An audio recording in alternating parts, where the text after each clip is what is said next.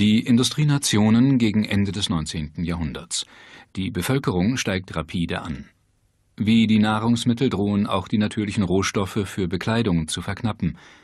Eine mögliche Lösung des Problems künstlich hergestellte Textilfasern. Die Idee selbst ist zu dieser Zeit bereits mehr als 200 Jahre alt. Sie stammt von dem englischen Naturforscher Robert Hooke.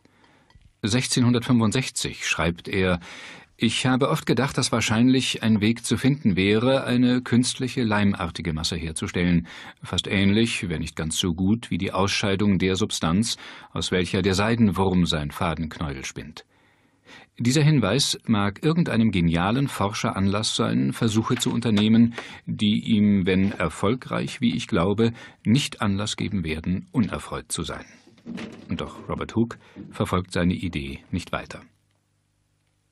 1845 macht Christian Friedrich Schönbein eine höchst brisante Entdeckung, als er mit Baumwolle experimentiert.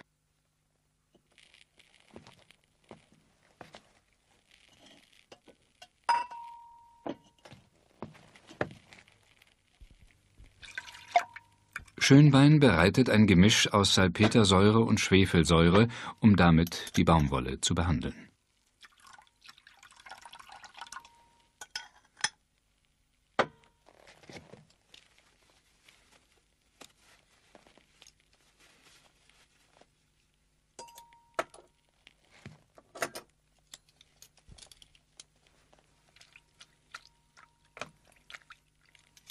Die Baumwolle scheint nach dem Trocknen äußerlich unverändert, doch innerlich erfuhr die Zellulose, aus der die Baumwolle hauptsächlich besteht, sehr wohl eine Veränderung.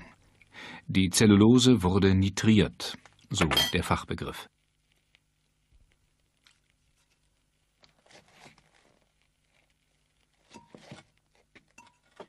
Schönbein stellt Versuche an, die naturbelassene wie auch die behandelte Baumwolle aufzulösen. Während sich für die natürliche Baumwolle kein Lösungsmittel findet, entdeckt Schönbein, dass die der Säure ausgesetzte Baumwolle in einer Mischung aus Äther und Alkohol durchaus löslich ist. Nur mehr ein kleiner Schritt wäre es gewesen, aus der Lösung die Baumwolle wieder auszufällen und daraus Fasern herzustellen. Doch Schönbein hatte anderes im Sinn. Ihm ging es allein um die explosive Wirkung der Schießbaumwolle. Ein Graf sollte der eigentliche Begründer der Kunstseidenindustrie werden, Graf Hilaire de Chardonnay. Im Auftrag der französischen Regierung erforscht Chardonnay die Möglichkeiten der Schießbaumwolle. Ganz im Gegensatz zu Schönbein befasst sich Chardonnay näher mit dem Collodium, mit der im Äther-Alkohol-Gemisch gelösten Schießbaumwolle. Das Ergebnis lässt sich sehen. Ein feiner Faden ähnlich glänzend wie natürliche Seide. Chardonnays Kunstseide wird eine Sensation. Doch hat sie einen nicht unwesentlichen Nachteil. Sie ist leicht entflammbar. Chardonnay gelingt es schließlich, auf chemischem Wege seiner Seide etwas an Brisanz zu nehmen. Auf der Pariser Weltausstellung wird die Chardonnay-Seide begeistert vom Publikum angenommen. Die daraus hergestellten Erzeugnisse finden reißenden Absatz.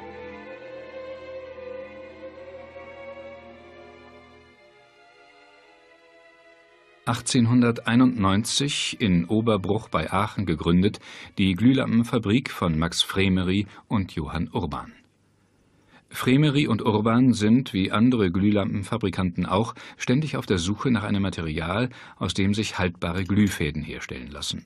Alle nur denkbaren Fasern unterziehen sie der Prüfung. Schließlich stoßen sie auf das Verfahren eines Matthias Schweitzer, dem es mit Hilfe ammoniakalischer Kupfersulfatlösung gelang, Baumwolle aufzulösen, ohne dadurch ihre Brennbarkeit zu erhöhen in verdünnter Schwefelsäure lässt sich aus dieser Lösung ein Faden aus nahezu reiner Zellulose ziehen, nach dem Verkohlen ein idealer Glühfaden. Als dann die Kohlefadenlampen nicht mehr gegen die von Siemens und Halske auf den Markt gebrachten Glühlampen mit Metallfäden konkurrieren können, werden aus Fremery und Urban kurzerhand Kunstseidenfabrikanten.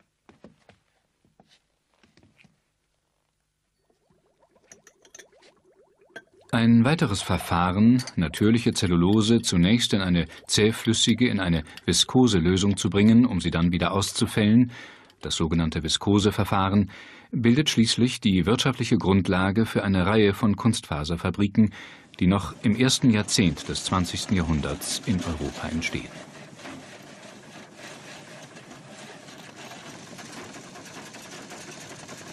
Bezeichnend für den Siegeszug der künstlichen Fasern ist die kurze Mode der 20er Jahre. Diese war erst möglich geworden, als feine Strümpfe aus Kunstfaser an die Stelle der hausbackenen Baumwollstrümpfe getreten waren. Doch handelt es sich weder bei der Chardonnay-Seide noch bei der Viskose um Kunstfasern im strengen Sinne. Die Faser wird ja lediglich durch Abwandlung eines Naturproduktes erhalten. Der erste echte technisch verwertbare Kunststoff ist das Bakelit, ein im Druckreaktor aus Phenol und Formaldehyd erhaltenes Harz. Sein Erfinder Leo Hendrik Bakeland meldet mehr als 400 Patente an, die überwiegend die Anwendungsmöglichkeiten des Bakelits betreffen. Es wird vielfach für elektrische Bauteile eingesetzt, doch über dessen genaue chemische Natur weiß auch Bakeland nichts. Für Aufklärung sorgt der deutsche Chemiker Hermann Staudinger. In Zürich, wo er seit 1912 Professor für Chemie ist, beginnt er natürliche Stoffe wie Zellulose und Kautschuk zu untersuchen. Jene Materialien, deren chemische Natur sich den Wissenschaftlern bis dahin hartnäckig verschloss. Die gängige Lehrmeinung glaubte, die besonderen Eigenschaften, so auch die hohe Viskosität dieser Stoffe, durch sogenannte Mizellen erklären zu können. Molekülanhäufungen, die durch besondere Kräfte, durch Mizellarkräfte zusammengehalten werden.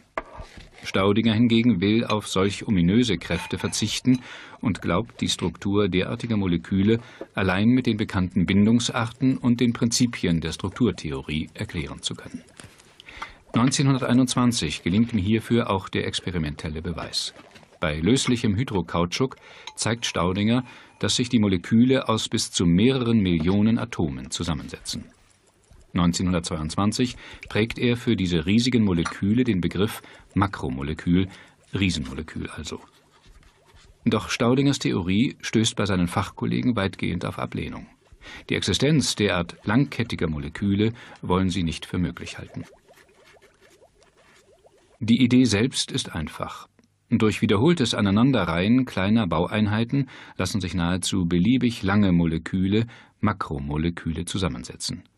Die chemischen Bindungen zwischen den Atomen entsprechen dabei denen kleinerer Moleküle. 1926 geht Staudinger nach Freiburg, wo er seine Theorie in unermüdlicher Detailarbeit mit stets neuen Beweisen belegt. Dennoch, nur langsam findet Staudingers Gedankengut Einzug in die wissenschaftliche Welt.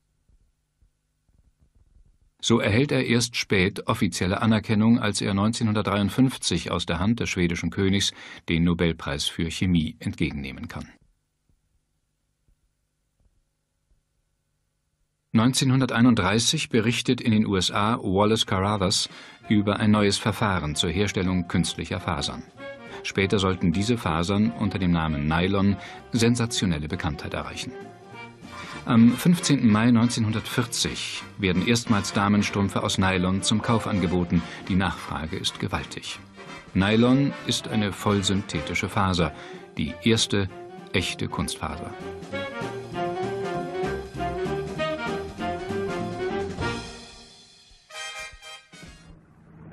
Im Zweiten Weltkrieg wird Nylon für andere Dinge als Damenstrümpfe benötigt vorwiegend als Ersatzstoff für die nun nicht mehr verfügbare asiatische Seide.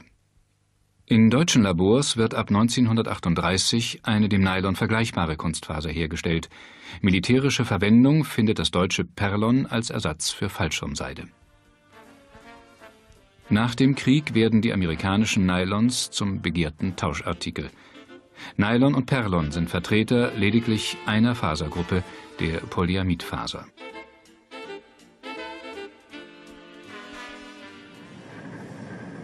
Nachdem in Deutschland die Produktionsstätten wieder aufgebaut sind, werden auch hier verschiedene Kunstfasern hergestellt. Durch Abwandlung der Grundbausteine können so Materialeigenschaften variiert werden. Staudingers Theorie bestätigt sich Tag für Tag in den chemischen Labors der Kunststoffindustrie. Fortschrittliche Mode erfordert fortschrittliche Stoffe, so heißt es in Berlin, als am 1. November 1960 die erste Trevira-Schau eröffnet wird.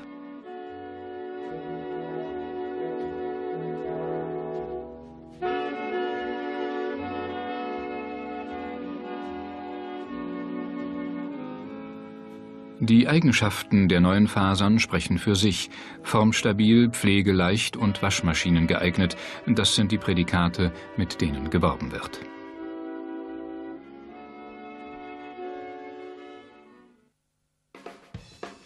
Heute gibt es kaum einen Bereich, der ohne polymere Stoffe noch denkbar wäre.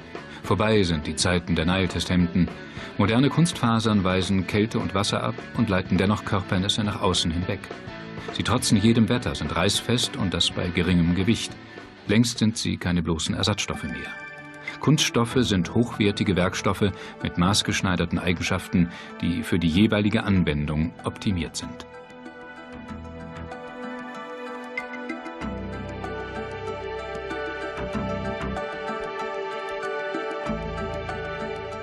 Ohne Kunststoffe sähe die Welt heute anders aus.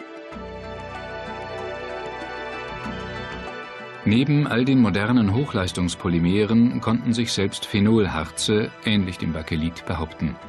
Sogar in Satelliten bewähren sie sich nach wie vor. Ohne Kunststoffe auch keine Mikroelektronik. Erst lichtempfindliche Fotolacke ermöglichen es, die mikroskopisch feinen Strukturen elektronischer Bausteine zu schaffen. Kunststoffe begleiten uns überall. Bestimmte Kunstfasern widerstehen selbst hohen Temperaturen. Kunststoffe ermöglichen den Menschen dort den Aufenthalt, wo sonst kein Leben möglich ist.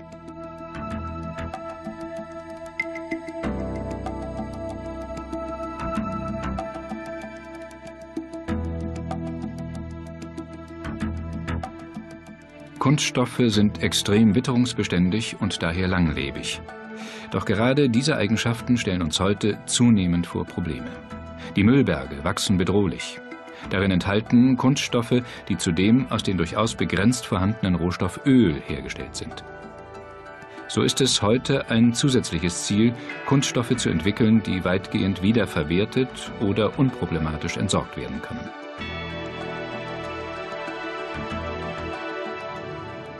Neuartige Polymere werden zukünftig eine wichtige Rolle spielen, als sogenannte intelligente Materialien, die auf elektrische oder optische Signale reagieren.